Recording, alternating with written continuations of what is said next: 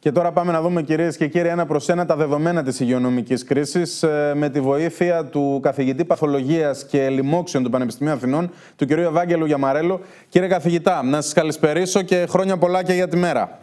Χριστός Ανέστη, χρόνια πολλά. Ευχαριστώ πολύ για την πρόσκληση. Ε, εγώ που είστε μαζί μας και για το χρόνο σας, ε, ξέρω ότι αυτές οι μέρες είναι ζόρικες και δύσκολες ούτως ή άλλως. Κύριε καθηγητά, να ξεκινήσουμε λίγο από το ε, τι σημαίνει ότι φτάσαμε εδώ. Λέμε Χριστός Ανέστη.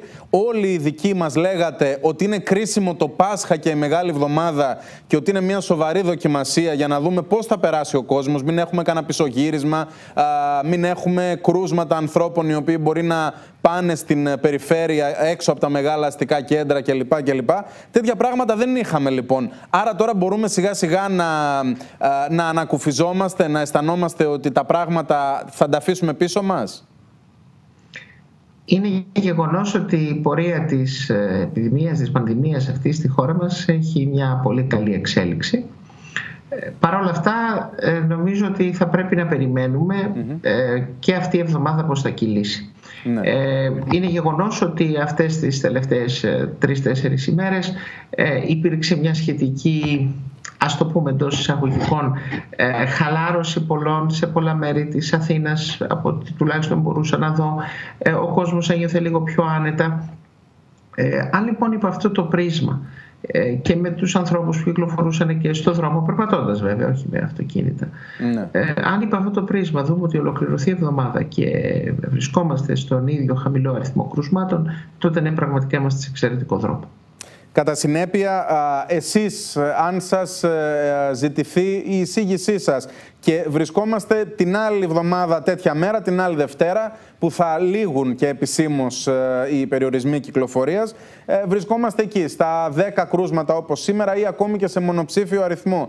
Θα δίνετε μια θετική εισήγηση καταρχάς, ώστε να μην παραταθούν οι περιορισμοί κυκλοφορίας, έτσι να τα πάρουμε τα πράγματα ένα-ένα η θετική εισήγηση δεν κρίνεται από ένα μόνο συμβάν που έχει να κάνει με τα θετικά Είναι μια συνολική εικόνα και γι' αυτό το λόγο υπάρχει επιτροπή και δεν μπορεί να είναι προϊόν της άποψης ενός ανθρώπου ε, και αποτέλεσμα της άποψης ενός ανθρώπου η οποία λαμβάνει υπόψη της πάρα πολλά δεδομένα μες στα οποία είναι και η πορεία της πανδημίας στις γείτονες χώρες είναι η γενικότερα δεδομένα επιδημιολογικά, ε, πόσοι ε, έχω ακούσει ότι θα γίνει και μια προσπάθεια για μια καταγραφή των, ε, και μια επιδημιολογική τυποποίηση του τι ναι. γίνεται αυτή τη στιγμή στη χώρα μας. Άρα λοιπόν όλα αυτά θα πρέπει συνολικά να συνεκτιμηθούν και να ληφθεί σχετική απόφαση. Ε, κατά συνέπεια, ε, τα κρίσιμα μεγέθη κατά τη γνώμη σας, εκτός από τα, τον αριθμό των νέων κρουσμάτων, ε, και το ότι βλέπουμε να πέφτουν συνεχώς και ε, να πέφτει και ο αριθμός των διασωληνωμένων συμπολιτών μας, που επίσης έχει τη σημασία του και για τις αντοχές του συστήματος υγείας δηλαδή. Τι άλλο θέλετε εσείς να δείτε για να σχηματίσετε την εκτίμηση ότι ήρθε η ώρα σιγά σιγά να σταματήσουμε να στέλνουμε SMS για να βγούμε έξω ή ακόμη ακόμη και να αρχίσουν να ανοίγουν ορισμένες ε, επιχειρήσεις; Θα ήθελα να δω συνολικά τις καμπύλες, πώς μεταβάλλεται ο αριθμός των κρουσμάτων, ο αριθμός των mm θανόντων μέρα με την ημέρα ναι. ε, και επιπλέον έχω δεδομένα τα οποία εξ όσων γνωρίζω αυτή τη στιγμή ε, εκπονούνται που έχουν να κάνουν με το ποιος είναι ο αριθμός των, αυτό που λέμε των ασυμπτωματικών κρουσμάτων, δηλαδή ανθρώπων οι οποίοι έχουν έρθει σε επαφή με τον κορονοϊό, ναι. έχουν προσδιοριστεί, έχουν ιχνηλατηθεί και να δω αυτά πώς μεταβάλλονται ε, και ποια είναι η αναλογία τους σε σχέση με αυτούς που έχουν συμπτώματα. Τώρα, ακούμε Αλλά αυτά είναι δεδομένα τα οποία γνωρίζω ναι. ότι θα τα έχουμε μέσα στην εβδομάδα. Α, ε, από εκεί και πέρα, ε, για τον ε, ίδιο τον ιό, ε, όσο προσπαθείτε οι επιστήμονες να τον αποκωδικοποιήσετε, βέβαια καταλαβαίνουμε ότι έχετε ήδη κάνει άθλο τόσο στην ελληνική όσο και στην παγκόσμια επιστημονική κοινότητα, καθώς μέσα σε τρεις μήνες προσπαθείτε να μάθετε να αποκωδικοποιήσετε έναν ιό. Έχετε σιγά σιγά αρχίσει να καταλήγετε σε ορισμένα συμπεράσματα ως προς το αν είναι εποχικός, αν με τη ζέστη θα απαλλαγούμε, ε, αν θα πρέπει να είμαστε έτοιμοι για νέο κύμα από το επόμενο φθινόπωρο. είναι πάρα πολύ νωρίς να γίνει τέτοια. Είναι νωρίς. Και ο λόγος είναι ο εξής. Ως τώρα εκείνο το οποίο έχει μάθει η ιατρική κοινότητα και τα αντανακλαστικά της τα τελευταία 100 χρόνια ναι. είναι ε, ένας, ο βασικός ιός που τώρα μας απασχολούσε είναι ο ιός της γρήπης. Εδώ όμως ο κορονοϊός δεν ανήκει στους ιούς της γρήπης, είναι μια ξεχωριστή ομάδα Άρα λοιπόν δεν μπορεί κανένας να εφαρμόσει απόλυτα το μοντέλο της γρήπης για να βγάλει συμπεράσματα για τον κορονοϊό. Αυτό λοιπόν είναι το ένα. Υπάρχει όμως κάτι το οποίο ε, προσωπικά κρίνω ότι είναι παρήγορο. Το χειρότερο λοιπόν ενδεχόμενο που μπορούμε να έχουμε είναι σε μερικούς μήνες να βρεθούμε σε μια κατάσταση εφάμιλη με αυτή που ζήσαμε αυτή τη στιγμή. Ναι. Ήδη ο βαθμός της συστράτευσης, ε, η ανάπτυξη τόσων κλινικών προγραμμάτων, η γνώση που έχει ε, εκπονηθεί είναι μια εγγύηση ότι το δεύτερο κύμα, αν τελικά έρθει, θα είναι πολύ πιο ελαφρό από το πρώτο. Ε, αυτό θα έχει να κάνει και με κάποια μετάλλαξη του ίδιου του ιού που θα τον καταστήσει πιο αδύναμο σε σχέση με αυτό που κουβεντιάζουμε αυτές τις μέρες ή όχι; Δεν μπορεί κανείς να γνωρίζει για μεταλλάξει του ιού. Είναι πάρα πολύ νωρίς να πει κανείς οτιδήποτε και πολύ παρακινδυνεύει. Mm-hmm. Ε, άρα ε, το δεύτερο κύμα θα είναι ελαφρύ επειδή θα έχουμε όλοι περισσότερη γνώση ε, τόσο εσείς οι ειδικοί για να τον αντιμετωπίζετε όσο και εμείς οι υπόλοιποι για να προφυλασσόμαστε καλύτερα, έτσι; Αυτό εννοείται. Ακριβώς. Αυτό είναι μια βασική, μια βασική αρχή σε κάθε ασθένεια. Ναι. Είναι ότι όταν τη γνωρίσεις ξέρεις τους τρόπους της, ξέρεις τους μηχανισμούς της, ξέρεις πώς να την αντιμετωπισει Αυτό γίνεται αυτή τη στιγμή. Ε, κύριε καθηγητά, από τις φαρμακευτικές αγωγές που ως τώρα βρίσκονται υποδοκιμή, εσείς ποια θα ξεχωρίζατε; Σήμερα, ας πούμε, μία είδηση από το μέτωπο της αντιμετώπισης του ιού είναι ότι είναι πολύ θετική εδώ στα ελληνικά νοσοκομεία η ανταπόκριση 60 ασθενών στην, στο φάρμακο που ονομάζεται κολχικίνη. Ταυτοχρόνως καταγράφονται ελπίδες για ένα φάρμακο που λέγεται Remdesivir.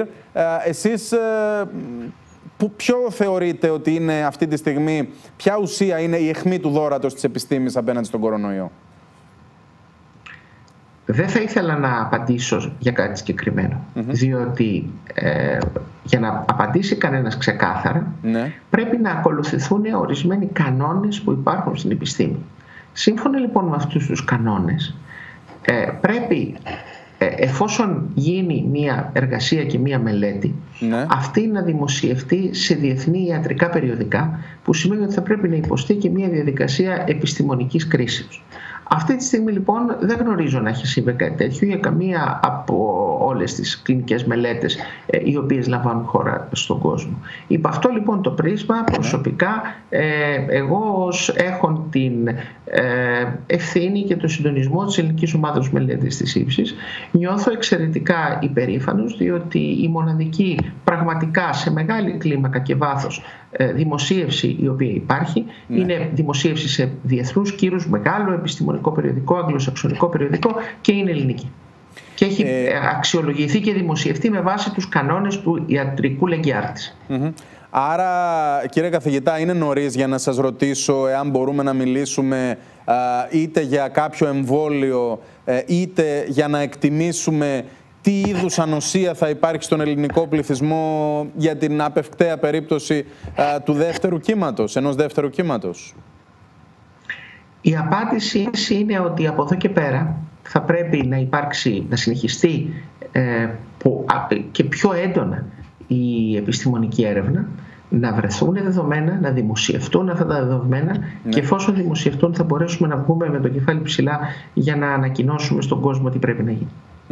Ε, και επίσης ε, φαντάζομαι ότι ακόμη και όταν ε, θα αρχίσουν να έρονται τα περιοριστικά μέτρα και τα μέτρα καραντίνας και τα λοιπά, αρκετά πράγματα στη ζωή μας δεν θα είναι ίδια. Έτσι. Θέλω να πω, ε, ωραία, τα καφέ ας πούμε ή τα εστιατόρια μπορεί να ανοίξουν. Ε, θα καθόμαστε το ίδιο κοντά, θα κάνουμε διακοπές με μάσκα, δεν θα κάνουμε διακοπές καθόλου. Ε, μπορείτε να μας δώσετε ως ειδικός κάποιες έτσι σκηνές από το μέλλον που λέμε; Ε, σε αυτό το πράγμα να σας πω το εξής, ναι. επειδή ε, καθέ, κανένας αναρωτιέται. Δεν είναι μόνο, ξέρετε, οι απαντήσεις σε αυτά τα θέματα μόνο επιστημονικές σε μια λογική άσπρη ή μαύρη. Υπάρχει μια γκρίζα ζώνη όπως υπάρχει σε όλα τα πράγματα της ζωής ναι. που επηρεάζεται από την προσωπική στάση και την φιλοσοφία των ανθρώπων απέναντι στα προβλήματα. Άρα λοιπόν το πόσο εύκολο ή όχι να ξεπεράσει κανένας ένα κοινωνικό σοκ το οποίο έχει δημιουργηθεί και το οποίο δεν είναι μόνο ελληνικό, είναι παγκόσμιο, δεν έχει να κάνει μόνο με μια επιστημονική άποψη. Ε, είναι ελεύθερο να το κάνουμε ή δεν είναι ελεύθερο να κάνουμε κάτι. Στηρίζεται στα πλαίσια της, της γενικότερης φιλοσοφίας και κοσμοθεωρίας που έχει ο καθάνθρωπος. Και αυτό είναι η μεγαλύτερη δυσκολία. Ε, άρα ουσιαστικά θα έχει να κάνει με τον καθένα και την καθεμιά μας το κατά πόσον θα συνεχίσει ε, να προστατεύεται με έναν έτσι πιο ενισχυμένο τρόπο σε σχέση με όσα κάναμε ή δεν κάναμε πριν τον κορονοϊό. Ε, και πάλι σε αυτό που ε, με ρωτάτε δεν υπάρχουν ξεκάθαρες απαντήσεις ναι ή όχι. Τα πάτε τη δική σας, τη δική σας την άποψη Ένας... ρωτώ. Θέλω να πω, πω ναι. εσείς ας πούμε όταν θα μπαίνετε στο λεωφορείο θα βάζετε και μια μάσκα για καλό για κακό; Δεν, επαναλαμβάνω, δεν υπάρχει. αυτή τη στιγμή δεν μπορώ να σας προγνώσω τι θα κάνω σε ένα μήνα από σήμερα ή σε δύο μήνες. Ναι. Είναι ένα φαινόμενο το οποίο θα πρέπει να δούμε πώς εξελίσσεται. Υπάρχει μια πραγματικότητα για τις λοιμώξεις. Η πραγματικότητα για τις λοιμώξεις λέει ότι μια λίμωξη περιορίζεται ή και εξαφανίζεται ναι. από την ώρα που θα βρεθεί εμβολιασμός. Ή το άλλο το οποίο ισχύει είναι όταν υπάρχει ένα δραστικό φάρμακο. Αυτή τη στιγμή εμβόλιο δεν έχει περιγραφεί. Αυτή τη στιγμή δραστικό φάρμακο δεν έχει ακόμα περιγραφεί. Άρα λοιπόν μέχρι αυτά μπορεί πράγματι σε ένα μήνα να έχουν βρεθεί. Οπότε τότε θα αλλάξουν πάρα πολλά δεδομένα. Άρα λοιπόν μην βιαζόμαστε. Αντιλαμβάνομαι το άγχος με την καλή έννοια που έχουν όλοι γι' αυτό. Γιατί θέλουμε να λυτρωθούμε από αυτό το οποίο έχει συμβεί. Ναι. Αλλά χρειάζεται υπομονή. Και καταλαβαίνετε ότι υπάρχει αφενός ένα άγχος που είναι και το βασικό για τη δημόσια υγεία, έτσι, για το πόσο κινδυνεύουμε όλοι μας. Υπάρχει όμως και ένα άγχος ε, σε σχέση με το εάν θα λειτουργήσει η οικονομία. Γιατί το να ανοίξουν τα καταστήματα και να είναι έρημα δεν λέει και τίποτα, έτσι. Σε αυτό συμφωνώ απόλυτα. Άρα λοιπόν, ε, επαναλαμβάνω, πολλά θα εξαρτηθούν από τη δυνατότητα ναι. να υπάρξει ένας εμβολιασμός. Και τα εμβόλια διακρίνονται σε δύο κατηγορίες. Διακρίνονται σε αυτά τα οποία είναι απόλυτα για ένα μικρόβιο, όπως ναι. προκειμένου ο κορονοϊός μας απασχολεί, ή εν ανάγκη, φαντάζομαι έχετε δει στο διεθνή τύπο, ε, υπάρχουν εμβόλια τα οποία μπορεί να μην είναι ειδικά απέναντι σε ένα μικρόβιο, αλλά μπορούν να παρέχουν μία μη ειδική, όπως λέμε, ομπρέλα προστασίας ναι. για ένα βραχή χρονικό διάστημα. Αυτή τη στιγμή λοιπόν πραγματικά σε ευρεία κλίμακα γίνονται τέτοιες προσπάθειες. Θεωρώ ότι τον επόμενο ένα με δύο μήνες θα έχουμε μια ξεκάθαρη εικόνα από αυτές τις προσπάθειες και από την ώρα που έχουμε ένα ξεκάθαρο αποτέλεσμα τότε είναι δεδομένο ότι θα μπορέσουμε να έχουμε αυτή την ξεκάθαρη απάντηση, το ναι ή όχι, το οποίο με τόση αγωνία και εσείς αλλά και όλοι οι συμπολίτες μας και οι συμπατριώτες μας αποζητούν. Ε, και κλείνοντας κύριε καθηγητά, αφενός καταλαβαίνω ότι χωρίς εμβόλιο και ειδικό φάρμακο ε, δεν θα έχουμε βεβαιότητες ότι αυτό μας λέτε.